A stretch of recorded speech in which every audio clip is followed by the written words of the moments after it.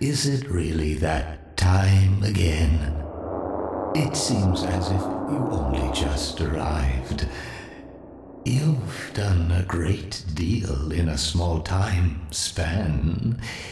You've done so well, in fact, that I've received some interesting offers for your services.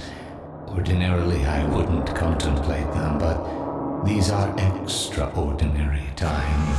Hmm?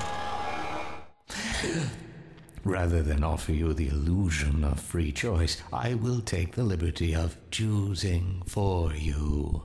If and when your time comes round again.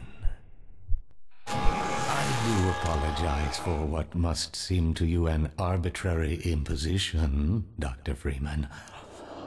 I trust it will all make sense to you in the course of. Well, I'm really not at liberty to say. In the meantime, this is where I get off.